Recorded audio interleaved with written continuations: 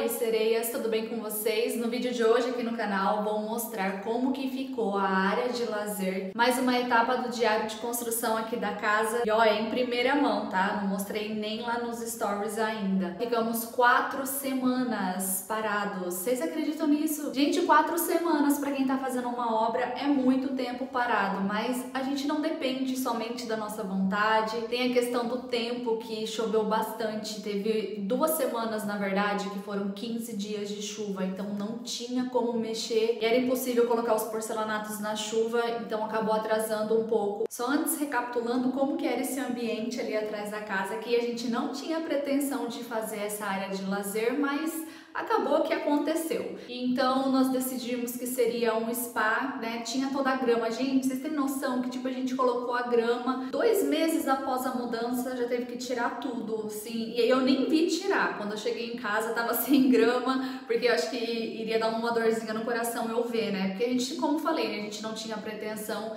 de fazer agora, né? Logo após a mudança, inclusive, a gente nem chegou a aproveitar assim toda a casa, porque a gente já organizando mudança e depois já entrou na fase ali da obra. Mas tô feliz, tô feliz e agora vou mostrar para vocês como que ficou e quero que vocês me contem, tá? Me conta aqui nos comentários o que, que vocês acharam ali. Então bora lá conferir. Essa aqui é a vista da cozinha.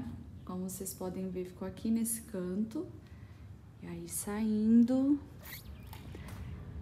temos toda a área de lazer, 99%. Como eu falei para vocês, ainda tem algumas coisas, mas eu já vou mostrar assim como tá, para vocês terem noção de como que tá ficando. Aqui o banco que a gente tirou os encostos aqui da lateral, né, que tinha para colocar o braço, então a gente achou que iria ficar melhor assim e realmente ficou. É, as coisas que ainda faltam fazer, por exemplo, ó, tem que tirar isso, tirar isso daqui, Aí aqui vai ser um jardim também, a gente vai fazer, mas só depois que eles fizerem o retoque da pintura. Vocês estão vendo que tem rejunte aqui, ó, detalhe do rejunte.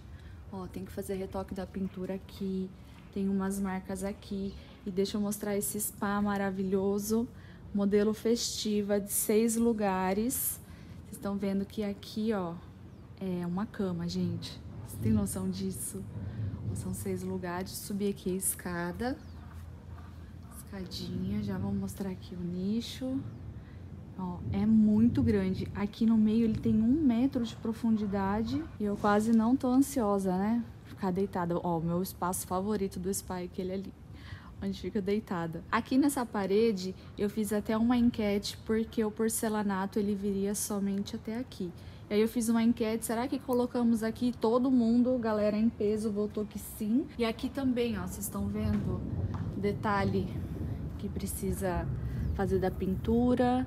Essa daqui é a cor cinza fechado e essa daqui é a cor inox, ó. Tanto cinza fechado quanto inox é da Sherry Williams. Aqui uma vista de cima, ó, de todo o ambiente. Depois vai ter um jardim e vai ficar bem bonito, porque eu quero colocar um coqueirinho pequenininho, não um grande igual esse aqui do vizinho. Aquele menorzinho. Aqui também onde tem essas caixas, ó, esses aqui eu vou colocar é, vaso, flor, folhagem, não sei ainda. Aqui ficou o chuveiro. Eu adorei, gente. Ainda bem que a gente colocou em toda a parede, olha só. E aqui, ó, deixa eu mostrar pra vocês o, o nicho. Que, na verdade, o nicho no projeto, ele tava aqui, ó. Aqui também tem que fazer a portinha, tá? Então, aqui tava o nicho no projeto. E aí, a gente, não sei, a gente passou batido e depois o arquiteto conseguiu projetar o nicho aqui. Ó, eu gostei mais aqui. E esse porcelanato lá da Construarte, na parte de trás da parede também a gente colocou. Esse porcelanato é muito lindo, gente, e ele remete madeira mesmo, olha só os detalhes. O mais legal também é que a gente fez até o teste, quando foi feito toda a limpeza aqui, a gente veio para ver se esse porcelanato iria segurar a água e realmente ele é muito antiderrapante. Tinha bastante água aqui no dia que, olha o trovão. Eita. Então tinha bastante água aqui e a gente veio assim, colocou o pé e não derrapou. Então muito, muito bom. A gente pegou numa promoção lá na Construarte. Esse, ó, vocês estão vendo? Que ele tem todas umas veinhas, uns detalhes. Esse aqui também foi lá na Construarte. Esse porcelanato aqui do banco é o mesmo porcelanato ali da parede. E aí aqui o chuveiro a gente pegou na internet, gente, foi um achado, porque esse chuveiro aqui ele é bem bonito. Este foi em torno de 150, 160 reais, algo assim. Até temos um chuveiro que ele é todo cromado ali guardado, que é um chuveiro novo, mas não ia ficar, né, legal aqui. As arandelas aqui, elas também são no preto, daqui a pouco eu mostro pra vocês, que é um outro detalhe também que a gente tem que finalizar. A parte das luzes, trocar aquela ali, que ela tá no branco, lá tem um outro ponto de iluminação. Então a gente vai deixar tudo padronizado. Deixa eu só mostrar essa lateral aqui. Essa parte aqui vai ficar assim, a gente vai colocar a mangueira, que essa daqui é mangueira de obra. Então a gente vai colocar uma mangueira bonitinha ali. Aqui tem uma caixa, ó, que eles vão trazer a tampa que é uma caixa de drenagem ali da, da água do spa. Inclusive aqui dentro, ó, deixa eu mostrar pra vocês. É que tá escuro aqui. Mas olha o espaço que ficou, gente. Dá pra dançar uma valsa quase ali. A água vem, desce, aí passa por essa caixa. Aqui a gente vai manter grama, que são umas peças de porcelanato que sobrou que a gente vai colocar lá no depósito. Então aqui eu quero manter grama até esse pedaço aqui, até essa caixa, depois vai vir a tampa. E depois colocar alguma pedra aqui, aquelas pedrinhas de rio, sabe? Porque aí são detalhes agora, né? Quando a parte estrutural tá pronta, é toda essa parte de limpeza também. Deu bastante trabalho fazer limpeza pós-obra. Eu não vejo a hora deles virem colocar a calha aqui no depósito, porque aí eu consigo colocar as coisas lá da lavanderia tem bastante é, coisas que a gente precisa trazer para cá, mas eles precisam fazer a calha, é, fazer o rufo aqui. E ficou bem legal aqui dentro. Tem um ponto de luz ali também. Ó, mesmo piso. Eu até brinquei com o Cris que eu quero muito coqueirinho aqui para colocar pisca-pisca no Natal, sabe? Em dezembro, encher ele de pisca-pisca. E depois eu quero mandar fazer umas almofadas Pensa no verão, gente, umas almofadas coloridas ali, é, uma mesinha. Uma outra coisa que eu quero colocar aqui, mas assim, também é, vou pesquisar, vou tentar encontrar. Gente, quanto trovão! Enfim, como eu tava falando aqui, vou dar uma pesquisada na internet para encontrar uma mesa. Mas eu quero uma mesa que, assim, na minha ideia, eu já mais ou menos sei. Vou colocar uma foto aqui para vocês. A gente não quis colocar deck aqui por conta de manutenção, durabilidade. Mas a mesa de madeira é bem legal a gente ter com umas cadeiras cadeiras, que depois dá para jogar umas almofadas também, pensando aqui nesse ambiente, para compor ali junto. Acho que vai ficar bem legal, gente. E depois também a gente já vai agendar o horário para o técnico vir aqui fazer a instalação do spa, para a gente poder tomar banho, né?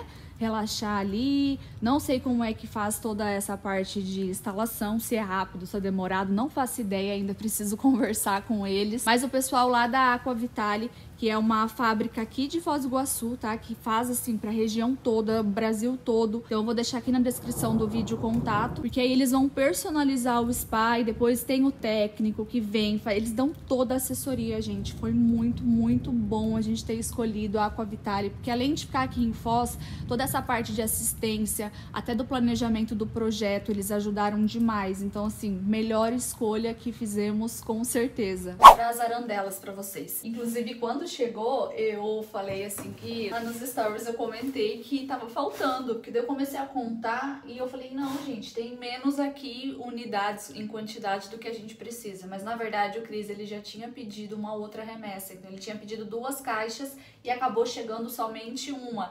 Então aí quando chegou eu falei, não, vai faltar, vai ter que pedir mais, meu Deus, mas não. Logo depois, em alguns dias, já chegou a outra caixa pra gente conseguir trocar tudo em volta da casa tirar todas aquelas que são brancas e colocar esse modelo aqui, deixa eu mostrar pra vocês. Nós compramos na Amazon e o preço foi muito acessível desse daqui, ó. Ela é bem bonita e valeu muito a pena, assim, pelo preço que a gente pagou. Então, é, sugiro que vocês pesquisem, sabe? Entrem na internet, é, verifica a indicação da loja. Essa loja aqui, ó, que a gente comprou, tá? Vou deixar aqui pra vocês de dica. E aí agora falta instalar todas elas bem bonitinhas. Gente, vai ficar uma coisa mais fofa, né? Porque aquelas brancas, elas nem destacam. Essa daqui, como ela tem eh, esse detalhe aqui no preto, eu acho que vai dar um destaque bem bacana. Em cima do spa lá também ter, vai ter duas, né? E aí só um outro item que a gente vai precisar ver é a válvula, que tá faltando uma lá. E como a gente precisa comprar também é, da ducha higiênica, essa daqui é o que eu tô falando, ó, gente, ó daqui, tá vendo? É válvula do registro, na verdade. E a gente vai colocar a ducha higiênica nos três banheiros, então vai precisar também para os banheiros a gente vai pedir. Daí tá faltando uma lá que é para abrir ali a água do spa, fazer toda a parte hidráulica. E o técnico vai vir instalar o spa e aí a gente vai poder, né, contar para vocês como que é. Confesso que eu estou bem ansiosa, porque nunca tive um spa.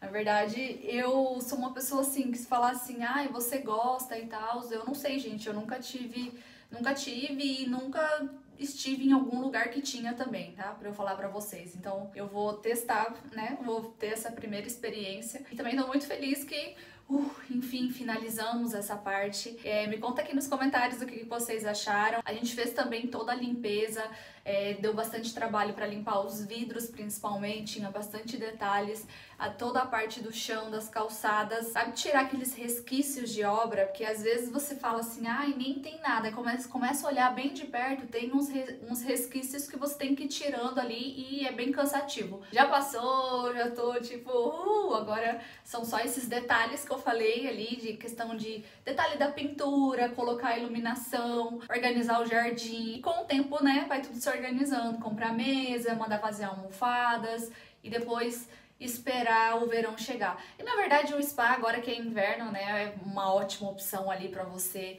relaxar, curtir, acho melhor que piscina, porque a piscina, além da gente ter que fazer a piscina, a gente ia ter que aquecer a piscina, se fosse querer usar no, no inverno, senão usaria só no verão. E o spa já não. É mesmo que estando assim, ó, um dia nublado, chuvoso, se a água tá quentinha, dá para usar. É, então eu não preciso esperar até o verão. Eu vou só esperar a instalação e depois vou mostrando pra vocês. Então, quem ainda não é inscrito aqui no canal, se inscreve, deixa um gostei aqui nesse vídeo, lá no Instagram também, arroba casanatblog. Ativem aqui as notificações para quando sair o vídeo você já fica sabendo ali e recebe esse conteúdo e assiste e já vai deixando um gostei. E as minhas sereias finalistas, ó, quem ficou até esse momento, deixa aqui pra mim até o final. Tô indo nessa, mas já já tô de volta com mais vídeos e conteúdos aqui pra vocês. Um beijo, meus amores. Fiquem com Deus e até o próximo vídeo. Tchau!